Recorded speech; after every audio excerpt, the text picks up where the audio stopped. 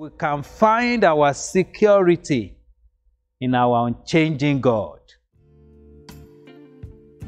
Welcome to today's DDRX.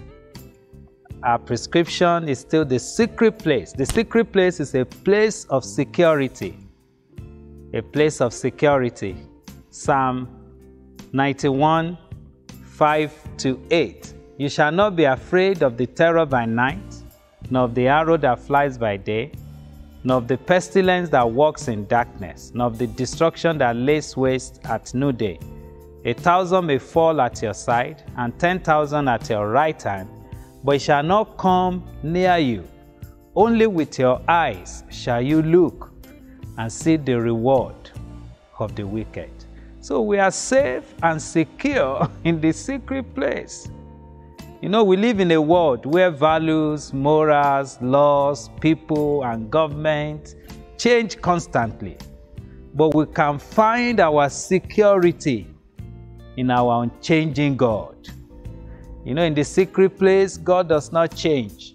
I have a narrative for us in Psalm 61 1 to 4. Hear David, hear my cry, O God, attend to my prayer. From the end of the earth, I will cry to you. When my heart is overwhelmed, lead me to the rock that is higher than I. For you have been a shelter for me, a strong tower from the enemy. I will abide in your tabernacle forever.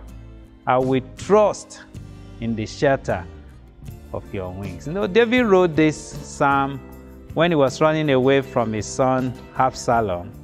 He cried to God, and God showed up for him because Absalom rebelled and was all out to kill him. But David found his security in God.